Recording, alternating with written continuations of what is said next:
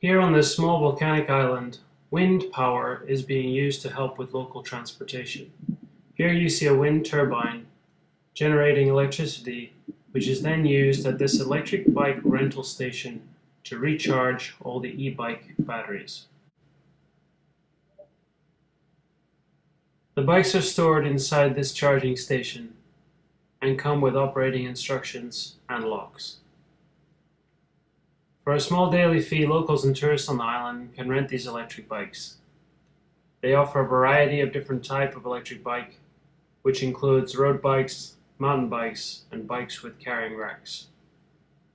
The bikes have a range of between 20 and 30 miles, which is more than enough for local commuting, and a tourist can easily ride the 35 miles around the island with a little extra pedaling.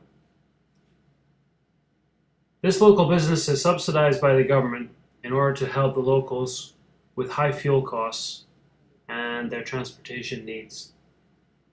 There are two other wind charging stations like this one on the island, and with a few more operations like this around the world, more people can enjoy or could enjoy the benefits of electric bikes.